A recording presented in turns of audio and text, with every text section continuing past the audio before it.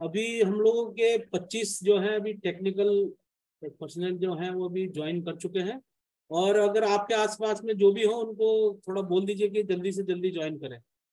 जैसा कि आपको मालूम है कि हम लोग हर महीने एक टेक्निकल ट्रेनिंग आयोजित करते हैं। और इसी क्रम में आज आगरा सेंटर के बारे में और हम लोग को बीपी जोशी जी, भूपेंद्र प्रसाद जोशी जी इसके बारे में बताएँगे। बीपी जोशी जी हमारे असिस्टेंट चीफ टेक्निकल ऑफिसर हैं और बहुत मल्टी टैलेंटेड आदमी है ये। जैसे कि इन्होंने अभी P M E A K M U D D O I C store बहुत सारी चीज़ें अभी एट प्रेजेंट देख रहे हैं। तो अब मैं आगे का जोशी जी को बोलता हूँ और वो आगे का अपना जो हमारा आज का लेक्चर है आगरा सेंटर के बारे में सभी ध्यान से देखिएगा कि हमारे सेंटर पे होता क्या है। तो जोशी जी ने सारी चीज़ें इसमें सम्मिलित करने की कोशिश की होगी। तो आप सभी इसको ध्यान से सुनिए और अपना जो आपका माइक है उसको ऑफ़ रखिएगा। अगर किसी को क्वेश्चन है तो हैंड रेज कर लीजिए और बता दीजिएगा कि फिर हम लोग उनको ऑन कर देंगे। तो बीच बीच में इंटरप्ट मत कीजिएगा। जोशी जी प्लीज़ आप कर सकते हैं। धन्यवाद। नमस्कार। सभी टेक्निकल साथियों को मेरा good afternoon and welcome to this training session I clear to all Joshi ji बिल्कुल साफ़ आ रही है आवाज़ आपकी। ठीक। जैसा चौहान साहब ने बताया कि मैं एसीटीओ की रेजिग्नेशन पे काम कर रहा हूँ आगरा सेंटर पे। More than thirty four years I am been serving here तो थोड़ा बहुत आगरा के बारे में मैंने बताने की कोशिश की है। शायद आप लोग जो कुछ हमारे यहाँ रिसर्च हुई है या सेंटर के बारे में मैं अपना प्रेजेंटेशन स्टार्ट करता हूँ। आगरा का उल्लेख ग्यारहवीं शताब्दी के मसूद सलमान ने किया था। मोहम्मद गजनी ने इस पर आक्रमण किया था तब राजा जयपाल शासन कर रहे थे। आगरा का स्वर्णिम काल मुगल साम्राज्य के दौरान रहा जो मुगलों की राजधानी रही। अकबर ने अपनी राजधानी फतेहपुर सीकरी में बनाने की कोशिश करी पर वो कामयाब ना हो सकी। आगरा अपने सांस्कृतिक धरोहर के विश्व में विख्यात है। ताजमहल सात अजूबों में शामिल है। आगरा का किला अकबर द्वारा पंद्रह में बनाया गया था। एतामुद्दौला का मकबरा सामरगी नूर जहाँ ने अपने पिता के लिए बनवाया था, यह पहला पूर्ण सफ़ेद संगमरमर की पहली इमारत थी। ज़्यादातर लोग ताजमहल को समझते हैं, लेकिन उससे पहले एतामुद्दौला था। आगरा में एक पंथ है, जिसे दयालबाग सत्संगी कहते हैं, स्वामी बाग। उनकी सर्वप्रथम हजूर स्वामी महाराज की समाधि है। जो राधा स्वामी मत के संस्थापक थे, उनकी एक पीठ, व्यासपीठ में भी शामिल है। आगरा में बहुत पुराने शिव मंदिर भी हैं। एक बिल्केश्वर नाथ महादेव है, का मंदिर है, जो 700 साल पुराना है, जो बेल से उत्पन्न हुआ था। पृथ्वीनाथ मंदिर है, जो शिव प्रतिमा द्वापर युग की की गई थी। राजराजेश्वर मंदिर, जो 900 साल वर्ष पुराना है। मन कामेश्वर मंदिर, जिनका बाल कृष्ण के मनोकामना को पूर्ण करने के लिए शिव जी ने ये निर्मित किया था। रावली महादेव ये रेल की पटरी पे है परंतु इसको हटाने की बहुत कोशिश की पर ये हट नहीं सकता और कैलाश महादेव मंदिर जो पाँच हज़ार वर्ष पुराना है ये थोड़ा सा आगरा का इतिहास था। इस आगरा के इतिहास में आ, काफ़ी कुछ घटित हुआ है। कई मुगल साम्राज्य वगैरह के। केंद्र की बात करें तो हमारा केंद्र छलेसर पर 81.6 हेक्टेयर पर स्थित है, जो आगरा शहर से 14 किलोमीटर की दूरी पर स्थित है। Agra Kanpur national highway N पर स्थित है। इस, ये एतमादपुर तहसील के अंतर्गत आता है, जिसका latitude 27 degree 10 minutes and longitude 78 degree 02 minutes है। 160 मीन सी लेवल से है। आगरा में पहुँचने के लिए चार रेलवे स्टेशन है। आगरा छावनी, राजा की मंडी, आगरा सिटी, आगरा फोर्ट और एक एयरपोर्ट भी है खेरिया पर, जो मिलिट्री बेस्ड है। अभी कुछ समय से वहाँ पर डोमेस्टिक फ्लाइट्स चलनी शुरू हुई हैं। आगरा केंद्र की बात करें तो 1957 में ये ministry of food and agriculture government of India के अंतर्गत एक सब सेंटर के रूप में स्थापित किया गया था। 1957 में इसे स्वतंत्र केंद्र बनाया गया। थर्टियथ सितंबर 1967 में ये आईसीआर के अंतर्गत स्थानांतरित हुआ। 1974 में इसका नाम central soil and water conservation research and training institute research centre Chhalesar, Agra रखा गया, जिसका पुनः नामकरण 2015 में Indian institute of soil and water conservation रखा गया। अब हम आगरा के मौसम की बात करें। तो आगरा का सब ट्रॉपिकल कॉन्टिनेंटल एंड मानसूनिक है, जिसमें विंटर्स शुष्क और हल्के होते हैं, जबकि जो गर्मी बहुत भीषण पड़ती है।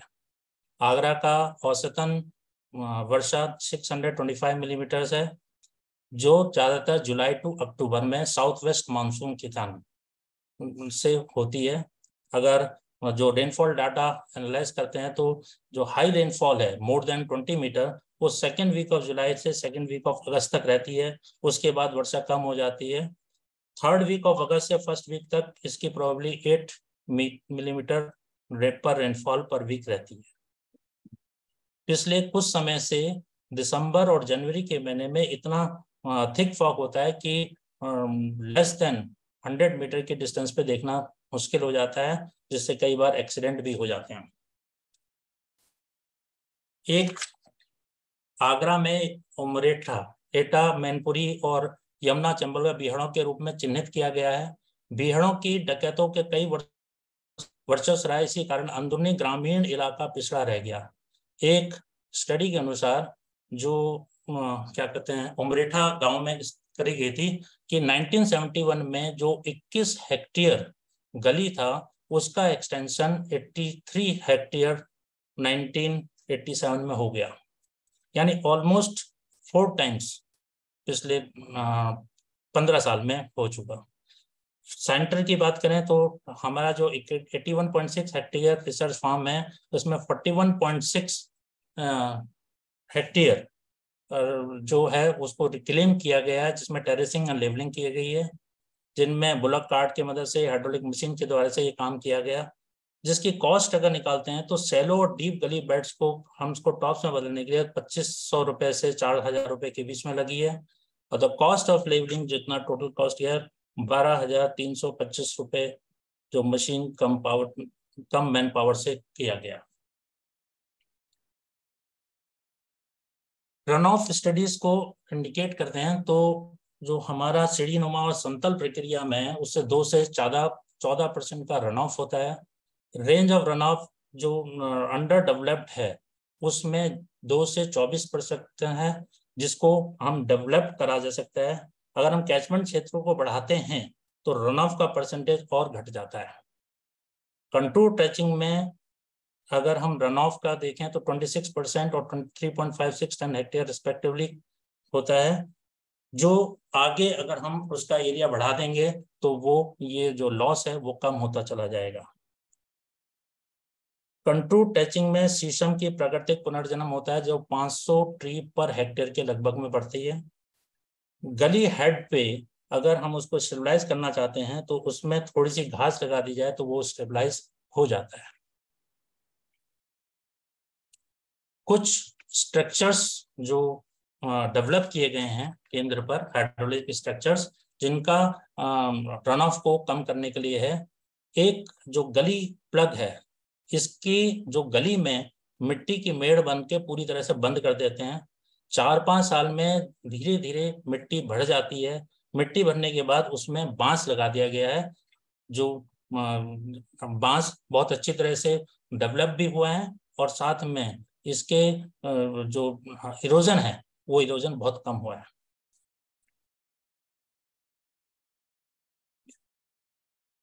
दूसरा है आपका स्ट्रक्चर स्ट्रेट ड्रॉप स्पिलवे पानी का बहाव को रेगुलाइज करने के दो तरीके हैं। एक जो आपके राइट हैंड में साइड में दिख रहा है, जो स्ट्रेट है, जिसमें पानी आया, पानी से स्टीपली नीचे गिरेगा सीधा। दूसरा स्टेट है कि उसको स्लोप वे में दिया जाए स्लोप वे में देने से जो पानी की, जो काइनेटिक एनर्जी है, वो कम हो जाती है। और जो इरोजन, सॉइल लॉस होना होता है, उसका को कि काफ़ी हद तक रिस्टोर किया जा सकता है। एक, जहाँ पर हाइट ज़्यादा है, पानी का फ्लो एक जगह पर केंद्रित है, वहाँ पर पाइप स्पिल वे का निर्माण किया जाता है। जहाँ पर ये ऊपर वाले स्ट्रक्चर में देख रहे हैं कि यहाँ से पानी का इनलेट है। इस पानी के इनलेट से जितना भी पानी ऊपर भरा है, वो पानी नीचे यहाँ पे आउटलेट पे हमारा वापस आ जाता है। तो पानी का बहाव को रेगुलेट करने से जो हमारा सॉइल इरोजन है रन ऑफ़ है, उसको हम काफ़ी हद तक कंट्रोल कर सकते हैं। दूसरा एक शूट स्पिलवे है, जो लास्ट में फोर्थ फिगर है। इसमें आपका दो तीन चीज़ें हैं, एक इनलेट एक आउटलेट एंड बीच में शूट इन में यहाँ पर this is the simple chute chute spillway यहाँ पर आपका सिर्फ़ पानी के फ्लो को सिर्फ़ एक ड्रॉप डाउन करना है। अगर पानी अनकंट्रोल चाहेगा तो सॉइल इरोजन बहुत ज़्यादा होगा। दूसरा एक और है मॉडिफाइड शूट स्पिलवे इसमें दो चीज़ हो गई है। एक नॉर्मल जो स्पिलवे है, उसके साथ में थोड़ा सा बड़ा करके और स्पिलवे बनाया है। साथ में एंड में एक स्ट्रक्चर्स बनाते हैं which gives you the toothing apron इससे ये स्ट्रक्चर वहाँ बनाए जाते हैं, जहाँ पर आपकी हाइट बहुत ज़्यादा है। उससे जो काइनेटिक एनर्जी ऑफ़ वाटर है, उसको कंट्रोल किया जाएगा। प्लस ये टूथ स्प्रिंग करने से जो उसकी जो काइनेटिक एनर्जी है और फर्दर रिड्यूस करी जा सकती है। एक प्री फैब्रेटेड ड्रॉप स्ट्रक्चर भी बनाए गए हैं।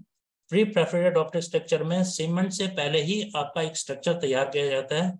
ये वहाँ पर लगा दिया जाएगा, जहाँ पर आपका रन ऑफ़ ज़्यादा हो रहा है, वहाँ पे आप डाल, लगा दीजिए, तुरंत आपका वहाँ से सॉइल लॉस को आपको कंट्रोल कर देंगे। This is called pre fabricated drop structure इसके अलावा दो हमारे नए साथी हैं, श्री अमित कुमार जी। उन्होंने ब्रशवुड चेक डैम बनाने का, बनाया है। उसकी फ़ोटो मैंने नहीं डाली है। और गैबियन फ्रेम आगे आपको हम बताएँगे। गैबियन फ्रेम में गैबियन फ्रेम मेकर बनाया है, जिसे गैबियन स्ट्रक्चर बनाया जा सकता है। गलीस। गली जहाँ पर आपका जो भूमि का जो ज़ीरो पॉइंट थ्री मीटर से गहरी खाई है, वहाँ पर ये गलीज बन जाती है। दे फॉर्म दी रेमाइन इस, हमारे जो आगरा में मिट्टी है, वो दैट इज़ सैंडिलोम सैंडिलोम होने के कारण कि उसमें वेजिटेशन बड़ी आसानी से नहीं पनप सकता है। और क्योंकि सॉइल कॉम्पैक्ट नहीं होती है, इसलिए इजीली सॉइल इरोजन हो जाता है। जरा सी तेज बारिश होगी तो इरोजन अकर्स रिवाइंस डिग्रेडेड हो जाते हैं जब रेनफॉल की इंटेंसिटी बहुत ज़्यादा हो जाती है। और ये मानसून पीरियड में बहुत अधिक हो जाती है। 1962 और 80 के बीच में doctor Bhushan and doctor Saxena ने जो स्टडीज़ की थी कि सेल्फ रिकॉर्डिंग रेंजेस और मंथली एनुअल रेनफॉल से, उनसे जो पाया दे फाइंड कि जो E I erosion index E one I thirty है वो वेरी करता है 218 से 751 मैट्रिक यूनिट्स तक। ऑन एन एवरेज अगर हम बात करें तो 416 metric units E I thirty है आगरा का। अगर हम टायर T one hectare eighty one point six hectare research farm को हम डिवाइड करें it is the representation of gullied region जो छोटे छोटे स्मॉल वाटर सेट में डिवाइडेड है। इनमें स्टडी में रिवील किया गया कि it gives you the high rainfall 10 से 14 परसेंट की रेनफॉल में two two ten four ton per hectare बिना सॉइल कंजर्वेशन मेजर्स के किए तो इतना रन ऑफ़ और सॉइल लॉस होता है। एक स्टडीज़ की गई इकोलॉजिकल स्टडीज़ जिसमें जो रिमाइंस को तीन जगह पे गया, एक टॉप बॉटम एंड साइडवेज जिसमें 25 मीटर बाय 25 का एक्सपोजर बनाया गया। ये स्टडीज़ 1962 में हुई थी। इसमें पहले घास पनपी थोड़ी दिन बाद श्रब्स बने और एंड आया पेड़ बनने में। इस रिसर्च को लगभग 12 साल पहुँच, बारह साल के वर्ष की आयु तक, तब जाके पेड़ का निर्माण शुरू हुआ। जो टॉप में हाईएस्ट है, वो जेरिक है, जिनको पानी की कम आवश्यकता होती है, जिनमें प्रॉस्पोरिस एकेशिया एजरेडिका इंडिका, या जिसे नीम कहते हैं। साइडवेज में जो आपका है that is the magic variety जिसमें पानी कम ज़्यादा भी हो जाए तो मिल जाएगा। एजरेटिका, इंडिका, डलबर्जिया शिशु एंड होलोपेटेला। जो बॉटम जिसपे कंजी भी कहते हैं, जो बॉटम में भी मैजिक वैरायटीज मिलती है डेली डलबर्जिया सीसु होलोपेटेला सेलेमिना जो फाइटोमास है जो आ, इस स्टडीज़ में गया 220 टन पर हेक्टेयर हमें बायोमास मिलना शुरू हुआ फाइटोमास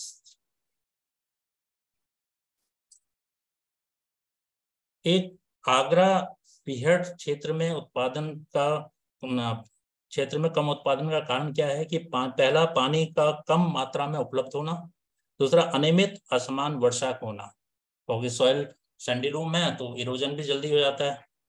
इसी के कंट्रोल करने के लिए एक प्रक्षेत्र पे थ्री हेक्टेयर के कैचमेंट एरिया में zero point eight hectare command area का एक तालाब खोदा गया, जिसके किनारे पे सिलापलिन लगाएगी ताकि पानी का सीपेज ना हो सके। इस पानी को इकट्ठा किया गया। इस पानी से जो लगभग 796 मीटर क्यूब पानी एकत्रित हुआ, जो आगामी रबी की फ़सल में सिंचाई के लिए उपलब्ध हुआ था।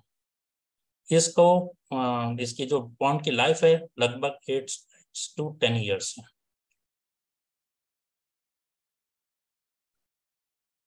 दो हज़ार नौ में मानिकपुरा पिनाहट ब्लॉक में तहसील में एक वाटर शेड बनाया गया क्योंकि उसके पास जो उटंगन रिवर है, यमुना की एक ट्रिब्यूटरी है, उस पे उसके पास एक स्टडीज़ की गई। इस वाटर सेट में बाँस का पौधे लगाए गए स्टेगर्ड वे में जिग्जैक्ट पोजीशन में, ताकि एक वेजिटेरियन बैरियर बना सके। इसमें बैम्बू के सपोर्ट के लिए सॉइल कंजर्वेशन टेक्निक बनाई ट्रेंचेस बनाए गए बंडिंग बना बना के, ताकि पौधों को पनपाए जा सके। लगभग 12 लाइफ सेविंग इरिगेशन दिए गए, जिसमें 10 से 15 लीटर पानी हर एक पौधे को दिया गया ताकि वो सरवाइव कर सके। बाँस शुष्क और मुश्किल वातावरण में मिट्टी को बांधे रहने में अच्छा साबित हुआ, क्योंकि इसके दो चीज़ें, एक, बाँस डेंस क्लैम फॉर्मेशन बना देता है। साथ में जो उसकी फाइब्रस रूट है दे आर इंटरलॉकिंग आपस में जुड़ जाती हैं। And natural capacity to regenerate through rhizome. अपने आप अपने आप को रिजनरेट करता है। इस कारण से मिट्टी के कटाव को रोका जा सका, वाटर होल्डिंग कैपेसिटी को बढ़ाया गया और न्यूट्रिएंट चेक को बढ़ाया जा सका। ये स्टडी काफ़ी वर्डफुल रही। जहाँ पर ज़्यादा कटाव होना शुरू हो जाता है, वहाँ पर अगर हम थोड़ा सा वेजिटेशन बैरियर लगा दें आइपोमिया कार्निया जिसे हिंदी में बेसरम भी कहते हैं तो इसके किनारे को स्थिर किया जा सकता है। ये सारे प्लांटेशन हमारे फार्म के नदी के किनारे हैं, लेकिन अब नदी का किनारा धीरे धीरे और ज़्यादा कटता जा रहा है तो वहाँ पर ये वेजिटेटिव बैरियर काम नहीं करता है। इस वेजिटेटिव बैरियर में तनोरा में एक देखा गया तो एक जो आपको पहली पिक्चर दिख रही है कि इसमें मिट्टी का नदी ने बहुत ज़्यादा कटाव किया है। इसको स्टेबलाइज करने के लिए इसमें एक जेटी का निर्माण किया गया तनोरा पे। डॉक्टर आर सी यादव उस समय इंचार्ज थे 2005 में ये निर्माण किया गया। इससे जो ये कटाव हो रहा था उस कटाव को रोकने में बहुत मदद मिली।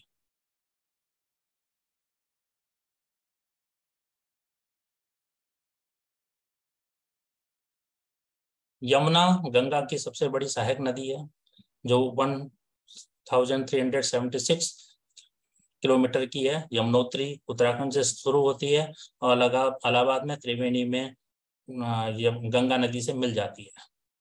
जहाँ दिल्ली तक इसका पानी लगभग बढ़िया है, लेकिन दिल्ली से इटावा तक यहाँ पर पानी बहुत ज़्यादा प्रदूषित है।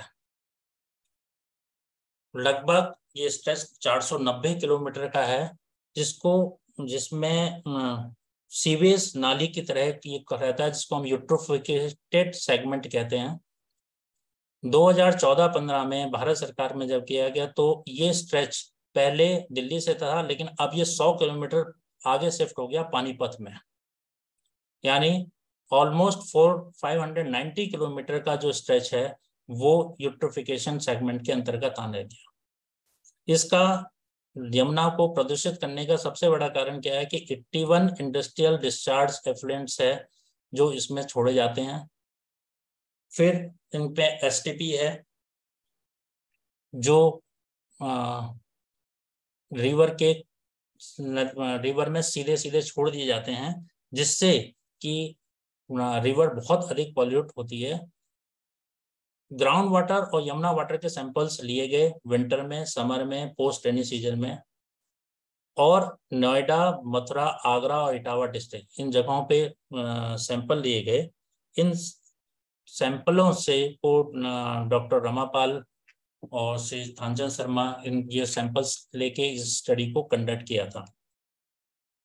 इससे जो मिला है कि 2015 से 2020 के बीच में कि the concentration of average humidity is cadmium सबसे आगे lead chromium copper manganese zinc और आयरन ये हैवी मेटल्स हमारी बॉडी के बहुत ज़्यादा हार्मफुल है। ये हाउ जो हम डाउन स्ट्रीम जब जाते हैं तो डाउन स्ट्रीम पाँच किलोमीटर पे जो लास्ट म्यूनिसपैलिटी ड्रेन है, जहाँ पर उन्होंने एस छोड़ा था, वहाँ पे सबसे ज़्यादा कंसंट्रेशन है उसके बाद कंसंट्रेशन इसका कम हो जाता है। जो हैवी मेटल का कंसंट्रेशन सबसे ज़्यादा नाडा में मिला और सबसे कम इटावा में मिला। जो H P I heavy metal pollution index जो प्री मानसून में बहुत ज़्यादा था, उसके बाद पोस्ट मानसून में और रेनी सीज़न में, क्योंकि रेन बहुत ज़्यादा हो जाती है तो उसके साथ अपना पॉल्यूशन भी चले जाते हैं तो लीस्ट एच पी आई मिला है। जो हैवी मेटल्स हैं पालक के पत्तों में सबसे ज़्यादा मिलता है।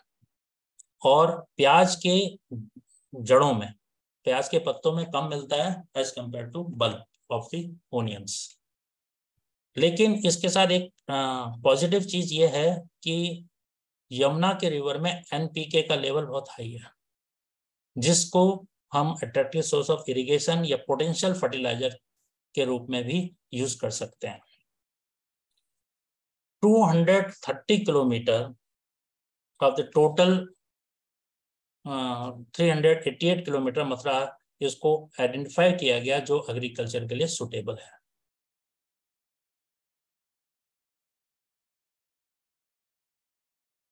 हॉर्टिकल्चर को हम देखें तो हॉर्टिकल्चर में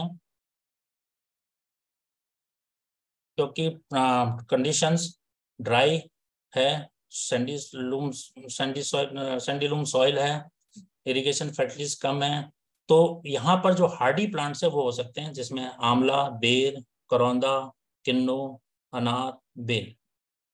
ये हॉर्टिकल्चर के प्लांट्स है जिनको हम उगाया जा सकता है। फार्म पर नर्सरी में हमारे पास 12 तरह के बेर हैं, अलीगंज, बनारसी, गोला, गो, जोगिया कन्नेर, कालन, करका, मोरिया, मरय, नरमा, उमरान, पोंडा, सफेदा, पोंडा सुम सुमुंडी।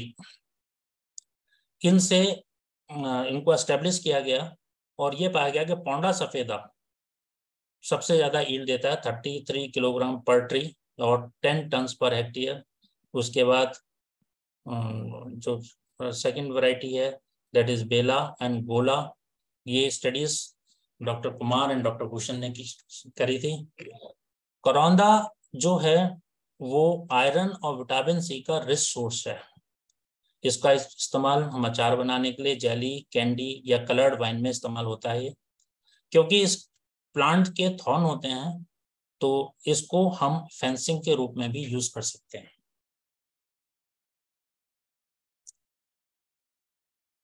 नॉर्मली ये माना जाता है कि बकरियों के चरने से सॉइल लॉइस और रन ऑफ़ ज़्यादा बढ़ जाता है।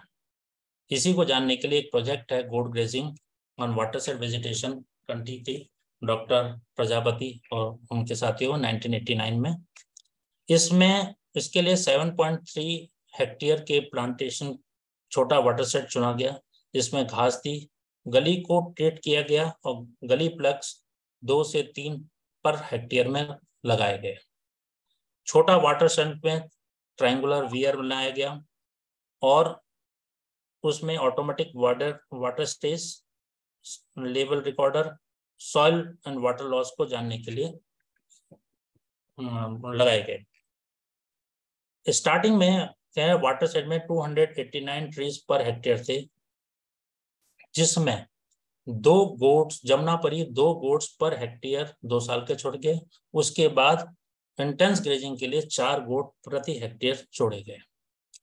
इससे यह पाया कि ज़्यादातर जो गोट जो बकरियाँ चढ़ती हैं, वो श्रब्स ट्री फॉयलेज जो दो मीटर की हाइट तक होती हैं। दो मीटर के अबाव हाइट वाले पान को बकरियों के चढ़ने से कोई भी नुकसान नहीं होता है। तो उससे ये निष्कर्ष निकाला कि अगर चार बकरी प्रति हेक्टेयर में 20 साल पुराने जंगल में छोड़ी जाए, जिसमें दो से तीन गली प्लग्स हैं तो इसका एडवर्स इफ़ेक्ट नहीं पड़ता है और रन ऑफ़ और सॉइल लॉस को मेंटेन किया जा सकता है।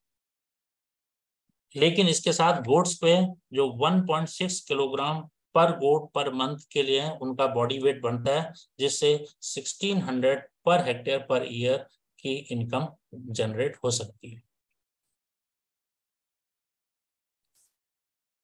एग्रो फॉरेस्ट्री यानी एग्रीकल्चर एंड फॉरेस्ट्री को मिलाने के लिए एक स्टडीज़ की गई doctor Om Prakash and others के द्वारा 2001 में। इसमें बेर के प्लांट्स लगाए गए।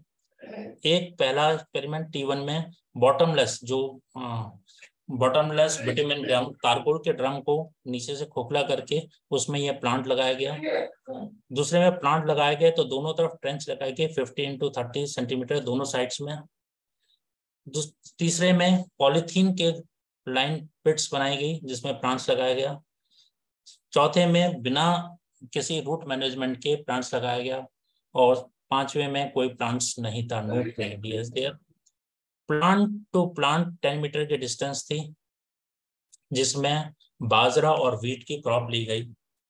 ये सेकंड वाले इसमें आपको वीट की क्रॉप दिखाई दे रही है। तो इसको रेंडमाइज ब्लॉक में किया गया। इसका रिज़ल्ट ये निकला कि जो बेर का फ्रूट है वो हाईएस्ट मिला बॉटमलेस बिटमिन ड्रम में। Seven seven thousand three hundred forty seven kilogram per hectare और उसके बाद नो रूट जिसमें कोई रूट मैनेजमेंट है सिक्स किलोग्राम पर हेक्टेयर फिर ट्रेंचिंग में और पिट लाइन पॉलिथीन में। तो इसका जब कॉस्ट बेनिफिट रेशो निकला it was found 2.36 in the bottomless bitumen drum it means कि हम इट इससे क्या हुआ कि जो रूट मैनेजमेंट के कारण हमारे पास ईल्ड लेस भी होगी तो क्रॉप रिडक्शन से हमारा जो कॉस्ट है, वो इंक्रीज हो जाता है। एक नया एक्सपेरिमेंट स्टार्ट हुआ है दैट इज़ नेचुरल फ़ार्मिंग ये लास्ट ईयर ही हमारे सेंटर पे इंट्रोड्यूस हुआ है ऑलमोस्ट साइड और सेंटर में भी ये इंट्रोड्यूस किया हो गया। नेचुरल फ़ार्मिंग जो प्रैक्टिसेस है, कि natural application of farming system with organic residues और रिप्लेसमेंट ऑफ़ सॉइल फर्टिलिटी यानी भूमि की उर्वरता बनाने मेंटेन करने के लिए ये टेक्निक इस्तेमाल की गई। ये जो कंपेयर किया गया कि agro ecological region A R operation variability जो इंडिया में इनकी सुटेबल प्रोडक्टिविटी और प्रोटेबिलिटी देखी गई और उसके अनुसार उनकी सॉइल हेल्थ देखी क्रॉप क्वालिटी की वेरियस क्रॉपिंग सिस्टम में जो परंपरागत तरीके हैं हमारे कृषि के, या नेचुरल फ़ार्मिंग प्रैक्टिस से, किसमें हमें बढ़े ये जस्ट स्टार्ट हुआ है। इसमें आपका जो प्लॉट साइज़ लिया गया ten two five metre RBD चार एप्लीकेशन चार एप्लीकेशन हैं। एक में आपका कन्वेंशनल जो परंपरागत है, उसमें आपका इंटीग्रेट न्यूट्रेंट मैनेजमेंट प्रैक्टिस शुरू गई। दूसरे में कन्वेंशनल क्रॉपिंग सिस्टम है, जिसमें नेचुरल फ़ार्मिंग का विदाउट बायोमास मल्च इस्तेमाल किया गया। तीसरे में natural farming plus biomass mulch 2.5 tonne पर हेक्टेयर डाला गया। तो चौथे में क्रॉप डाइवर्सिफिकेशन वो उसमें आपका इंटीग्रेटेड न्यूट्रल मैनेजमेंट प्रैक्टिस करी गई। तो पांचवे में crop diversification with neutral natural farming biomass mulch किया गया। Crop diversification natural farming plus biomass 2.5 tonne पर हेक्टेयर गया जो नेचुरल फ़ार्मिंग प्रैक्टिसेस हैं, उसमें सीड को पहला बीजामृत से ट्रीट करना, फिर घनजीवामृत डालना, फिर जीवामृत डालना। जीवामृत के बाद थर्टी डेज़ सिक्सटी डेज़ में जीवामृत का स्प्रे सिक्सटी नाइन्टी डेज़ में। जीवामृत बनाने के लिए दस किलो गोबर और दस किलो गौमूत्र, एक किलो गुड़ और एक किलो बेसन और पचास ग्राम खेत की मिट्टी को एक हफ़्ते के लिए छोड़ देना है। ये जीवामृत बन जाता है। घन जीवामृत बनाने के लिए गोबर को छाया में रख के जो जीवामृत बनाया गया है, उसको छोड़ देते हैं। दस से दस दिन के बाद उसको दोबारा मिलाया जाता है। फिर उसमें जीवामृत डाल के उसे ऐसा ही ये प्रोसेस तीन से चार में है तो ये जो बन जाता है दैट इज़ घन जीवामृत बीजामृत करने के लिए पाँच किलोग्राम गुड़, गाय का गोबर, गौमूत्र पाँच लीटर, चूना ढाई सौ ग्राम, पानी बीस लीटर और खेत की मिट्टी मुट्ठी भर। इसको 24 घंटे के लिए छोड़ देते हैं और दो बार हिलाते हैं। उसके बाद जो बीज हैं, उसके ऊपर ये छिड़क दिया जाता है। बीज को छाया में रखा जाता है और सूख जाने के बाद उस जब सूख जाता है, तब उसको हम बुआई में इस्तेमाल करते हैं।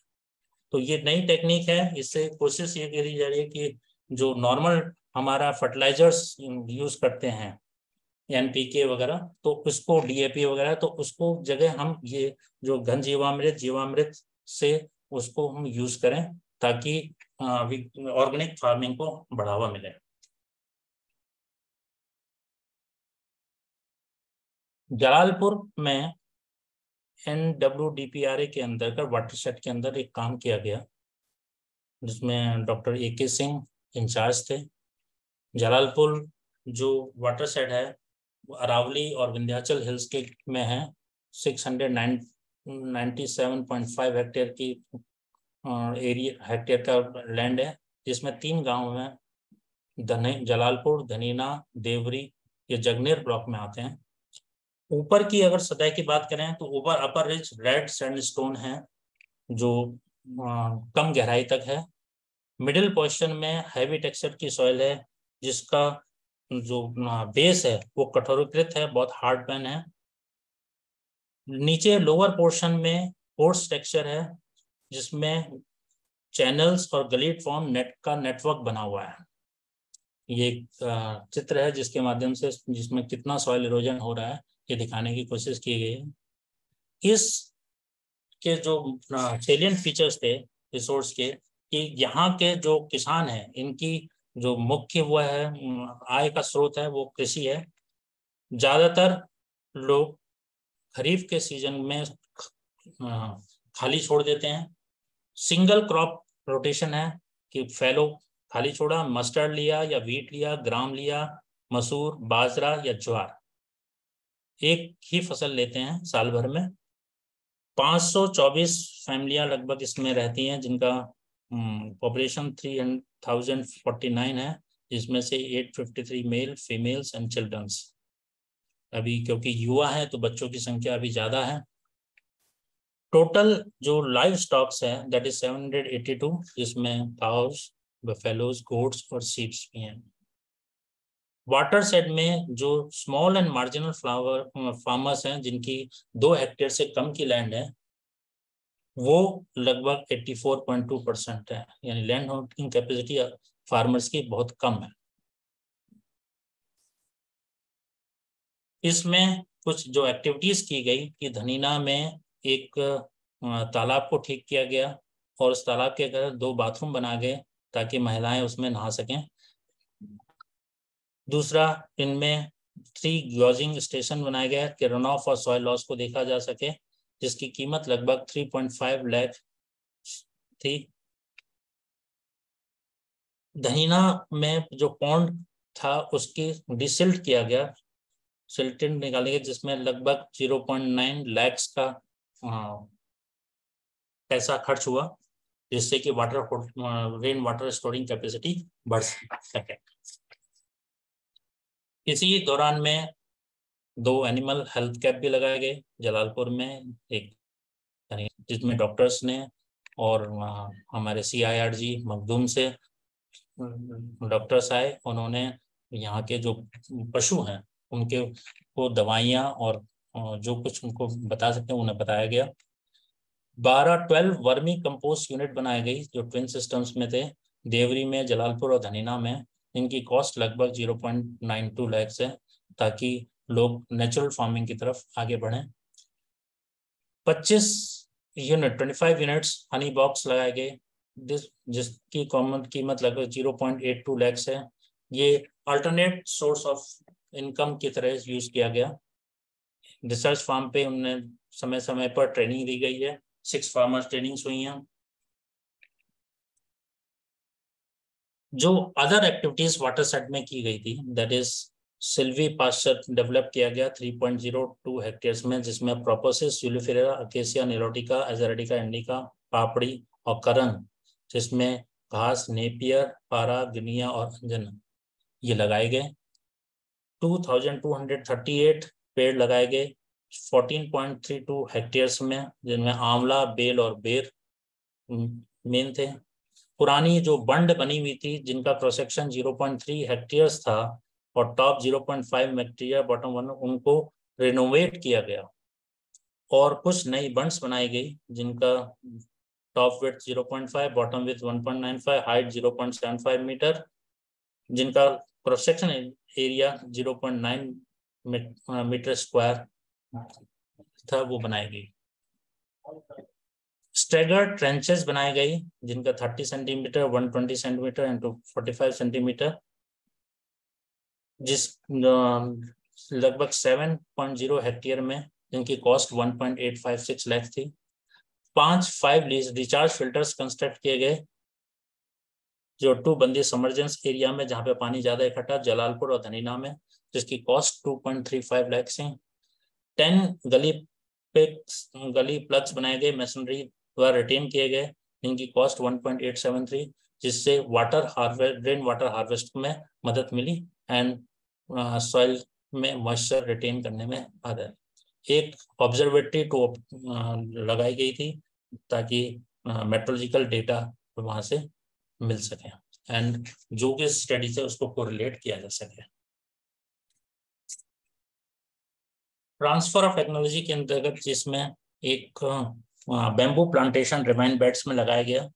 इसमें बेम्बू ट्रेंचेस खोल के पानी को इकट्ठा रेन का वाटर इकट्ठा किया गया। उसी में, उसी पानी में हमारा बेम्बू का प्लांटेशन किया और मानिकपुरा में ये प्लांटेशन बहुत अच्छा रहा as compare to farm soil water moisture conservation करने के लिए ग्रीन मैन्यूरिंग जिसमें ढैंचा को लगाया जाता है, ढैंचा बरसात के बीच मध्य में जब एंडिंग होना होता है, उससे पहले जब बड़ा हो जाता है तो उसको हम जोत देते हैं और that is use as green manuring उस मैन्यूर का इफ़ेक्ट होता है कि आपको वीट या मस्टर्ड की क्रॉप में आपको नाइट्रोजन की भरपूर मात्रा उपलब्ध हो जाती है। डीप फ्लोइंग वंस तीन साल में डीप फ्लोइंग करने से जो ऊपर की जो सॉइल है जो न्यूट्रिएंट्स हट गए हैं डीप फ्लोइंग से नीचे की सॉइल ऊपर ऊपर की सॉइल नीचे आ जाती है and it is the way कि जिससे हम सॉइल की फर्टिलिटी को इंक्रीज कर देते हैं। ये one of the techniques developed by Agra centre पहले जो किसान आसपास थे, वो एक मस्टर्ड की खेती ले रहे थे, जिसमें क्या कहते हैं ग्रीन ग्राम नहीं ले रहे थे सेंटर ने आसपास के किसानों को समझाया तो ग्रीन ग्राम और मस्टर्ड क्रॉप प्रैक्टिस करने लगे और उनसे उनकी इनकम में फ़ायदा भी मिला है। हमारे साथी जो टेक्निकल है, जिन लोगों ने हमारे साथ मदद की है, B Prasad, Suresh Chand ji, A K Nitan Shishupal Laxman Singh and Amit Kumar सभी का आपको धन्यवाद करता हूँ और आई थिंक मैं थोड़ा बहुत आगरा सेंटर के बारे में बताने में कामयाब हुआ हूँ। थैंक यू बहुत बहुत धन्यवाद जोशी जी। आपने बहुत ही बढ़िया एक, आज जो आगरा सेंटर के बारे में बहुत अच्छा लेक्चर दिया और सबको, मेरे को इस बात का ज्ञान होगा कि सभी को आगरा सेंटर जो जो भी गतिविधियाँ वहाँ से संचालित की जा रही हैं, उनके बारे में सुनने का मौका मिला और आपने तो बहुत अच्छा इसका जो स्लाइड्स बहुत ही अच्छी बना रखी थी। तो अगर किसी का कोई प्रश्न है कुछ जोशी जी से कुछ पूछना चाहे ऐसे तो उन्होंने समग्र रूप से बता दिया है सारी चीज़ें। लेकिन अगर किसी के मन में कोई संशय है कुछ बात है कुछ पूछना है तो अपना क्वेश्चन जो है वो जोशी जी से पूछ सकते हैं। और जोशी जी आपने बहुत अच्छा किया आपका बहुत बहुत धन्यवाद धन्यवाद अच्छा लेक्चर आपने दिया है आज। और मुझको लगता है बहुत अच्छी ये सबके लिए एक लेसन टाइप का हो गया कि भाई जो आपने एक सेंटर की एक केवल उसके बारे में ही नहीं बताया, उसका हिस्ट्री भी आपने बताया और जो आपके यहाँ जो जो सारे जो प्रोजेक्ट चल रहे हैं उनके बारे में बताया। इंजीनियरिंग का पहलू भी आपने छुआ है इसमें। तो अगर किसी का कोई प्रश्न है, मेरे को लगता है एस के यादव जी कुछ पूछना चाह रहे हैं, लग रहा है कुछ शगल से उनकी कुछ यादव जी कुछ पूछना है तो बताइए। ऐसे तो आपने सब घूम रखे हैं सब। आपकी आवाज़ नहीं आ रही है Yadav ji. Actually sir I am sorry मुझे कनेक्ट होने में थोड़ा लेट हो गया। हाँ नहीं नहीं कोई बात नहीं अब ऐसा है मैं आपके हाँ एक बार और आपके सब जितने भी अभी जुड़े हुए हैं एक तो अभी मैं लिंक और फीडबैक लिंक इसमें आपके जो चैट बॉक्स है इसमें शेयर भी कर दूँगा और अपने व्हाट्सएप ग्रुप है इसमें भी शेयर कर दूँगा। तो सभी सभी अब सभी से आग्रह अनुरोध है कि अपनी जो अटेंडेंस है, उस पर मार्क कर लें पहले तो। और अभी परसों डायरेक्टर सर ने एक मीटिंग ली थी हम लोग की, कि ये जो टेक्निकल ट्रेनिंग है, इसमें और क्या क्या बेहतर किया जा सकता है। तो अगर जैसे हम लोगों ने उनको बताया था कि जो हमारे एस के यादव जी हैं, इन्होंने जो शैलेंद्र जी ने जो लेक्चर दिया था जनवरी में तो हमने कहा कि उससे बहुत कुछ सीखने को मिला। तो उन्होंने कहा कि भाई उसी तरह तर्ज पे कुछ ऐसे लेक्चर्स बनाए सब बताएँ जैसे कुछ हम लोग के काम हो काम का उसमें ज़्यादा हो और उसमें क्या छोटे ही कुछ स्तर पे बताए तो अब जैसे अमित से मैंने बोला है फार्म पे अभी अमित बैठा हुआ भी है सामने तो मैंने इनसे हाँ। बोला है कि आप थोड़ा सा आ, कुछ रीडिंग वीडिंग लेना सिखा दीजिए क्योंकि सब इसमें सबकी फ़ील्ड अलग अलग है तो थोड़ा बहुत भी जानकारी मिल जाए मास्टर तो जिसको बनना है वो बनेगा ही लेकिन यह है कि थोड़ा बहुत उस फ़ील्ड की जानकारी मिल जाए तो वो भी बहुत बड़ी बात होती है कि आप उस चीज़ को जानने को मिलता है। और हाँ, जैसे यादव जी जी जी जी यादव जी। जो हैंडल कर रहा है उसके बारे में अगर जानकारी दे तो ज़्यादा अच्छा रहेगा। जी। अपना अपना शेयर करें। जो पोर्सन जो देख रहा है जी। जैसे अमित जी मेट्रोलॉजी देख रहे हैं तो अगर उसके बारे में जानकारी शेयर करें जी जी। तो काफ़ी इन्फॉर्मेटिव होगी सबके लिए ना? हाँ मुरुगेशन ने मुरुगेशन जी ने भी अच्छा दिया था पिछली बार ई आई थर्टी वाला। तो अगर कोई भी आप में से कोई अपने आप भी आगे आना चाहे इसमें बहुत ज़्यादा उसमें कोई रॉकेट साइंस नहीं बताना है उसमें। जो आप बेसिकली काम कर रहे हैं कुछ जैसे उसके बारे में थोड़ा सा अगर जो हमारे टेक्निकल बंधु हैं उनको कुछ फ़ायदा हो। क्योंकि जो फ़ील्ड में काम कर रहे हैं या ऑफ़िस में भी काम कर रहे हैं उसका भी हम लोग एक पहलू में लेंगे कि जो अपना रिपोर्ट कैसे बनाए एम एस वर्ड वगैरह, जिस, जिसको नहीं आता है, थोड़ा बहुत कम से कम इतना करें कि अपने लायक काम कर ले है ना? तो इसीलिए मैं ये बोल रहा हूँ कि अब जिसको आपको अगर किसी को आगे किसी टॉपिक पे कुछ बोलना है तो जैसे उस पर आगे अपना हम लोग को बता सके तो हम लोग को एक साल का उनको डायरेक्टर सर ने बोला है कि एक साल का जो आप इसका जो ट्रेनिंग का है टेक्निकल ट्रेनिंग का, इसी की तो इसी पे एक कैलेंडर बना देंगे, सालाना कैलेंडर बन जाएगा। तो उसमें क्या क्या टॉपिक है हम लोग के? तो अगर सब बैठ के डिसाइड कर ले अगर कुछ सजेशंस दे कि भाई ये इसमें हम लोग ऐड कर सकते हैं तो हम लोग उसमें कैलेंडर में वो ऐड कर देंगे। और कोई अपना लेक्चर देना भी चाह रहे हैं तो उसको भी इसमें जगह दे देंगे। क्योंकि ये सभी के लिए होगा कल एडमिनिस्ट्रेशन वालों का इनका भी मंथली जो स्किल डेवलपमेंट ट्रेनिंग है इनका इनका भी कल से चालू हो गया है। तो अब ये सभी का होगा तो आप सबके अब जैसे यादव जी हमारे शैलेंद्र जी है जोशी जी है तो ये सब सीनियर आदमी है तो ये लोग थोड़ा सा गाइड भी कर सकते हैं कि भाई इसमें और क्या क्या रखा जाए। आपके यहाँ पे चंडीगढ़ में हो या आगरा में हो, क्यों बेसिक चीज़ बतानी है। वो कह रहे कि जैसे ट्री की हाइट का है या उनका जो जो मेज़रमेंट डेटा है डेटा कलेक्शन कैसे, बहुत छोटी छोटी चीज़ें बता दीजिए आप, है नहीं कि हम लोग को बहुत आपको, जैसे मुरुगेशन जी ने बहुत आगे की बात बता दी थी, ऐसा नहीं है। वो कह रहे कि छोटे छोटे लेके चलिए इसमें और ऐसा करिए कि जिससे सभी को उस चीज़ का ज्ञान हो जाए। हम्म। तो अगर आप कोई सजेशन देना चाहे आपके लिए सब खुला हुआ है उसी के बाद में शेयर करूँगा। पहले सबसे सजेशन एकत्र हो जाए नहीं तो सब अटेंडेंस मार्क करके और बंद करके भाग जाएँगे। तो इसलिए राम प्रताप जी आप भी कुछ बताइए। बताइए राम प्रताप जी कुछ आपके यहाँ से सेंटर से कोई ऐसी चीज़ होगी जो रियल में हम लोग का टेक्निकल जो कम्युनिटी है उसको बेनिफिट हो और जो सब और लेमन लेमन की तरह से सब समझ पाए उसको तो नहीं पता है वो भी समझ पाए।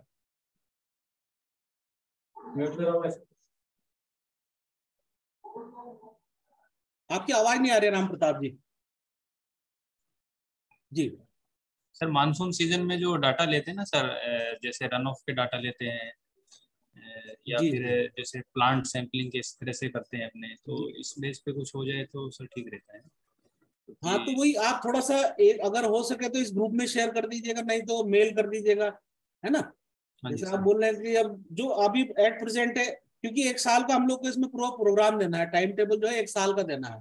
तो अगर एक साल का टाइम टेबल लेके चल रहे हैं तो आप सब मानसून भी आएगा सभी सीज़न आएँगे उसमें तो उसमें सभी हम लोग कवर कर सकते हैं उसमें। जी सर।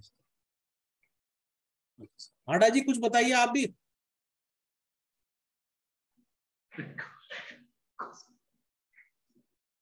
अमित कुछ बोलना चाह रहे क्या? नहीं सर जैसे अमित का अभी मेट्रोलॉजी वाला करेंगे अब आगे थोड़ा बताएँगे। और कोई मेट्रोलॉजी में और कुछ बताना चाहे? सबके लिए मंच खुला है। क्योंकि उसमें अभी एक ये भी करेंगे कि इसमें जो लेक्चर दे रहे हैं उनको भी एक सर्टिफिकेट दिया जाएगा। और इस तरह का प्रावधान करने जा रहे हैं कि जो अटेंड कर रहे हैं उनको भी एक हम लोग एक सर्टिफिकेट दे सके। और डायरेक्टर साहब बोल रहे थे कि इसमें सबको एक अप्रिसिएशन के लिए एक नंबर उसका फालतू मिलेगा उसमें। अगर कोई इस तरह से कोई करता है इसमें तो ये डिस्कशन का विषय है तो आगे की बात है क्या लेकिन ये है कि अगर कोई अपना लेक्चर देना चाहे तो उसको एक ये फ़ायदा है कि उसमें अपना लेक्चर भी दे सकते हैं, वो इसमें और कुछ समझाने के लिए दूसरों को समझा सकते हैं। इसमें डॉक्टर बाकी बिहारी भी जुड़ रखे हमारे जो नोडल ऑफिसर है, ट्रेनिंग के। सर, आप सुन रहे हैं तो आप भी कुछ सजेशंस दीजिए उस दिन का जो हम लोग का मीटिंग हुआ था डायरेक्टर साहब के साथ में।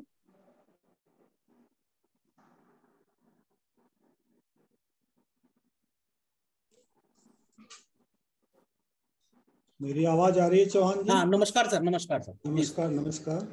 सबसे पहले सबसे पहले तो सभी स्पीकर जिन्होंने अभी तक लेक्चर डिलीवर किए हैं और सभी श्रोताओं को मैं बहुत सारी बधाई देना चाहता हूँ। क्योंकि आप लोग बहुत अच्छा प्रोग्राम कंडक्ट कर रहे हैं और बहुत अच्छे डिस्कशंस हो रहे हैं।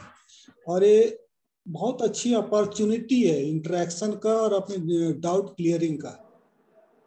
और ये डाउट क्लियरिंग तभी होगा जब आप फ्री एंड फ्रैंक डिस्कशन करेंगे। आपको एक मौका प्रोवाइड किया गया, एक अपॉर्चुनिटी दी गई है।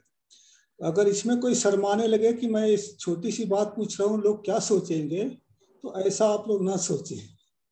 कि ये छोटी सी बात है। रिसर्च में कोई भी बात छोटी नहीं होती है, हो सकता है कि जो अच्छी तरह से जानता है उसके लिए छोटी चीज़ हो, लेकिन जो नहीं जानता उसके लिए वही चीज़ बहुत बड़ी चीज़ होती है। तो मैं समझता हूँ कि आप लोग फ्री एंड फ्रैंक डिस्कशंस करें, इसमें शर्माने की कोई ज़रूरत नहीं है, और इसी के लिए ये अपॉर्चुनिटी दी गई है और हर महीने दी गई है ये चीज़। और उसमें जो लोग अच्छी तरह से चीज़ों को जानते हैं और ये रियलाइज़ करते हैं, महसूस करते हैं कि वो अपनी बात दूसरों को भी बता सकते हैं, इससे और अच्छी बात क्या हो सकती है। तो आप लोग अपनी तरफ़ से जैसे भी चौहान जी कह रहे थे कि आप लोग वॉलंटियर करें और अपना टॉपिक बताएँ कि किस टॉपिक पर आप बात करना चाहते हैं।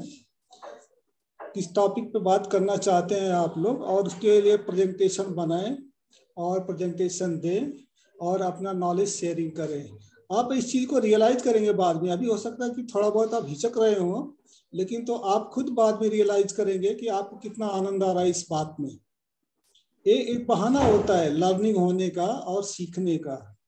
तो मैं चाहूँगा कि जो अपॉर्चुनिटी मिली है, इसका आप लोग पूरा पूरा फ़ायदा उठाएँ, अपना प्रिपरेशन करें प्रेजेंटेशन दें, दूसरों को लाभ पहुंचाएँ, खुद भी लाभान्वित हों। इस तरह की चीज़ होनी चाहिए।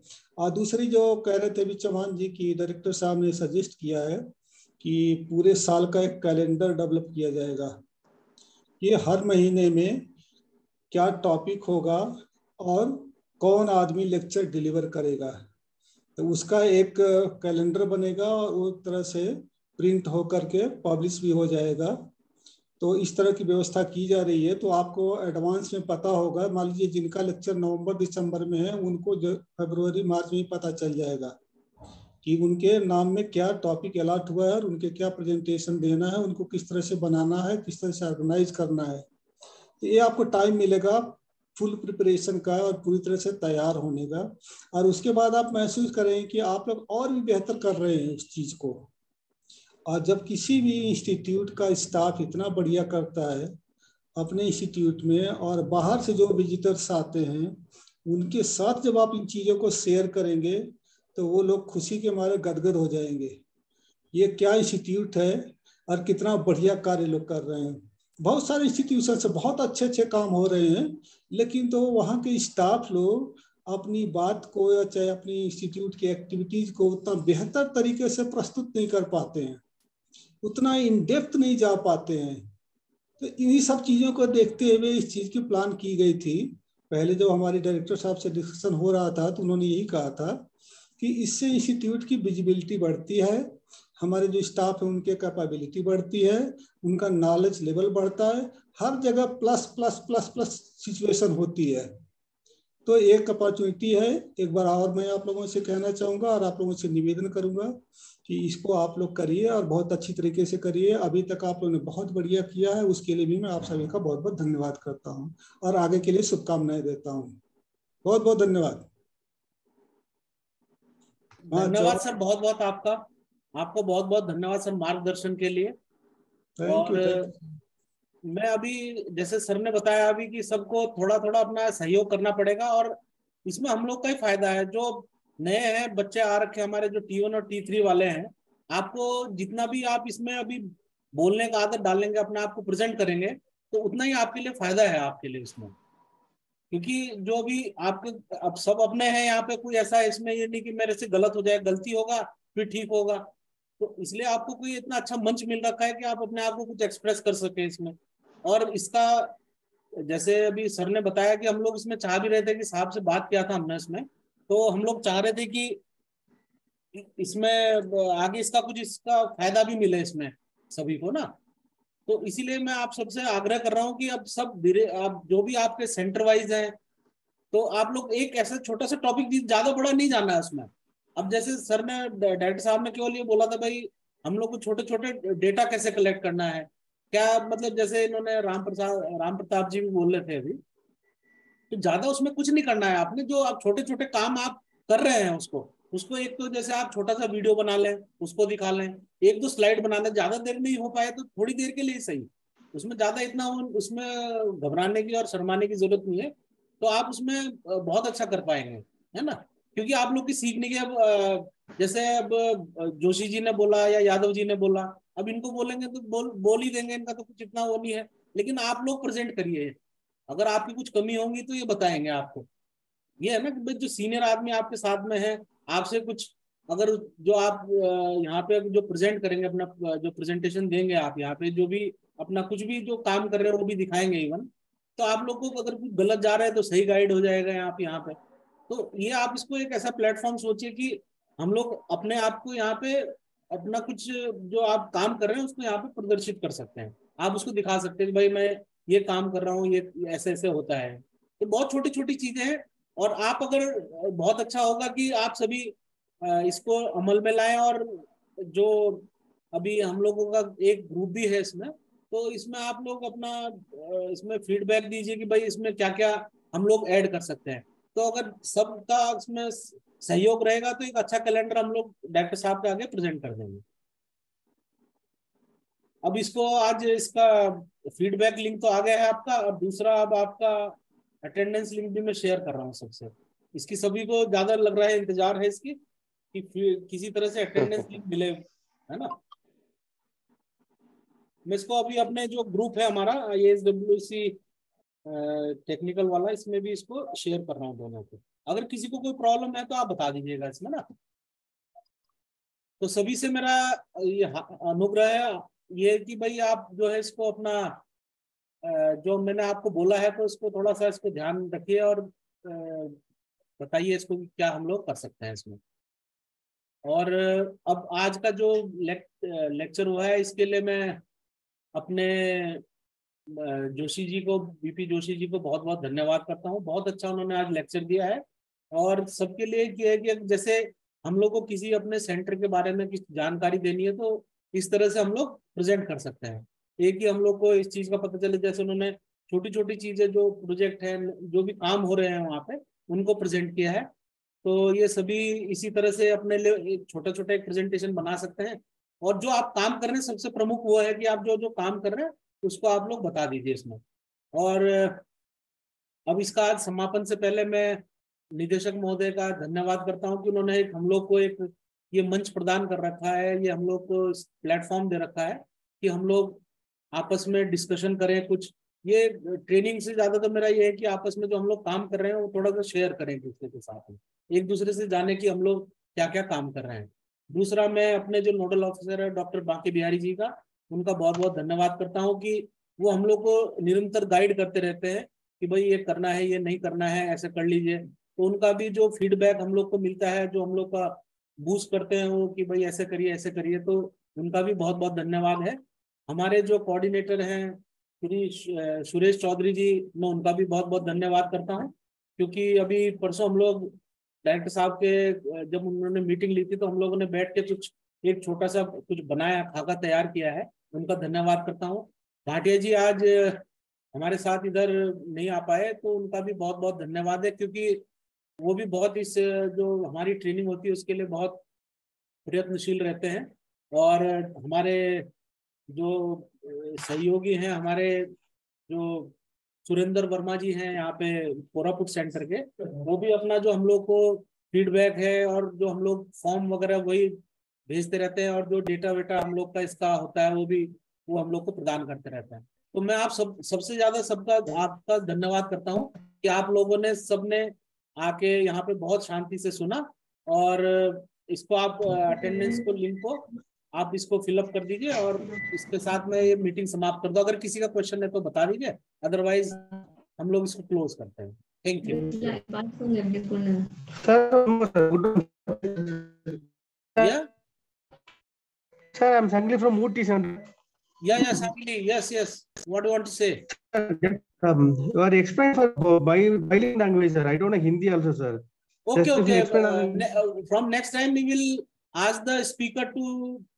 um, uh, speak in mixed language because we have got people from uh, both backgrounds now some uh, some don't understand english some don't understand hindi. So uh, what we can what best we can do is that uh, uh, we will ask them to speak somewhat in english and hindi also na?